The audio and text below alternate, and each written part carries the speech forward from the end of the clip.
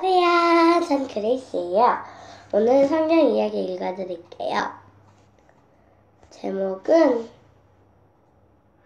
아브라함의 큰 시험이라는 이야기예요. 읽어드릴게요. 하나님은 아브라함에게 아들을 주신다고 약속하셨어요. 또 그 아들과 많은 자손들을 통해 이 세상을 축복하신다고 하셨어요. 하신다고 약속하셨어요. 하지만 아브라함과 그 아내 사라는 아기를 갖기엔 너무 나이가 많았지요.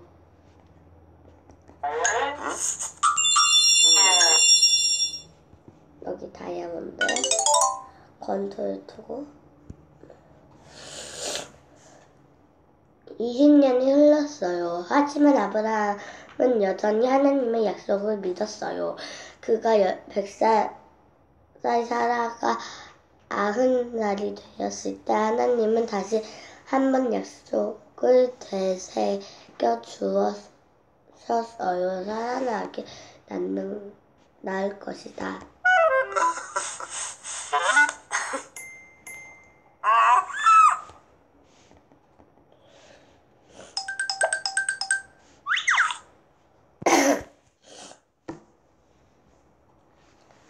그들은 아들이 태어났어요. 세라 태어났을 때 세라 아, 사라는 너무 기뻤어요. 너무도 기뻐서 크게 웃었어요.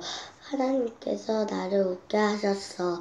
그녀가 말했어요. 그래서 아들이 이름은 그가 웃는다라는 뜻을 이삭으로 지 이라고 지었어요.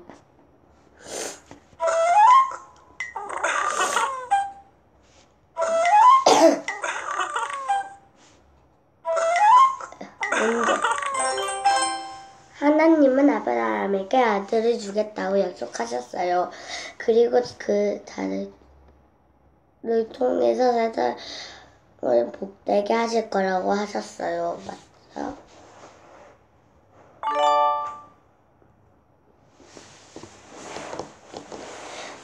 이삭이 소년이 되었을 때 하나님은 아브라함에게 말씀하셨어요. 아브라함아 이삭을 모리아 산으로 데려가 제물로 바치거라. 하나님이 아브라함을 믿는 시험하셨어요. 아브라함은 혼자 혼란스러웠지만 여전히 하나님을 신뢰했어요.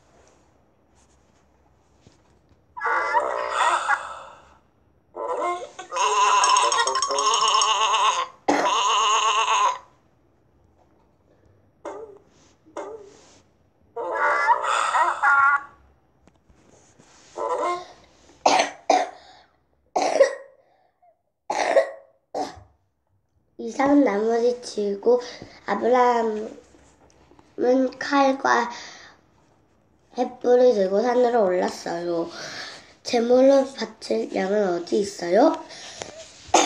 이삭이 물었어요. 하나님께서 준비하실 거야. 아브라함이 대답했지요.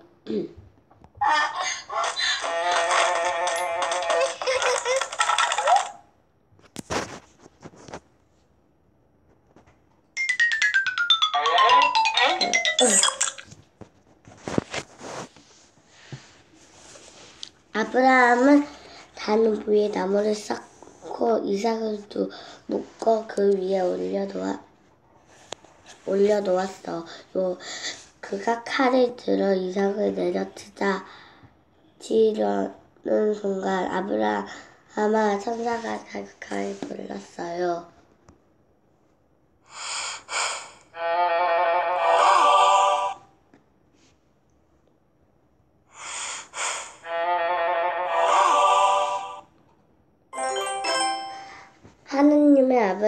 제물로 무엇을 바치라고 하셨나요? 두 번째죠.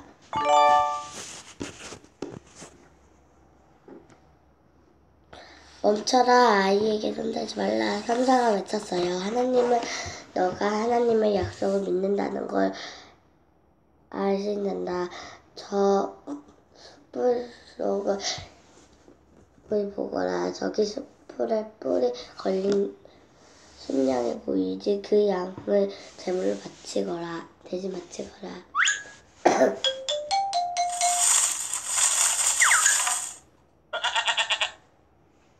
이렇게 다이아몬드 성소 장막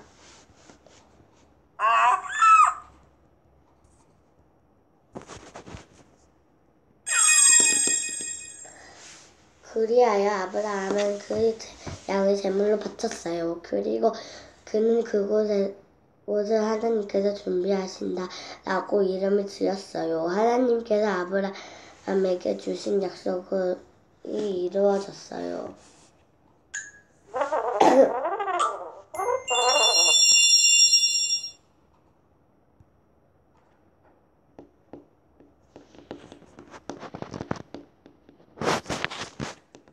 아브라함은 하나님께 반드시 약속을 지킬 거라고 믿었나요?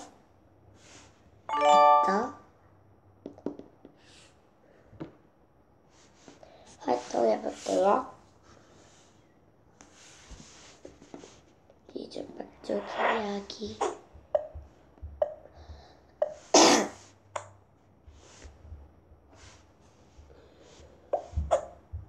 이게 맨 뒤에죠? 하고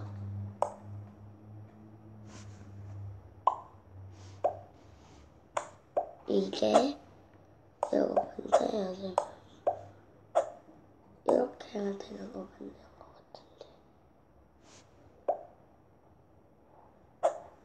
이렇게 하고 말씀에서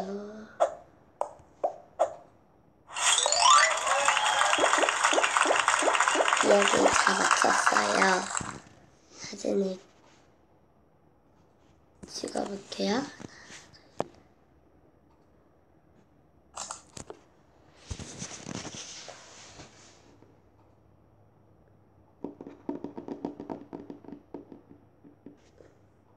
네, 오늘 아브라함의 큰 시험이라는 이야기 읽어봤는데요.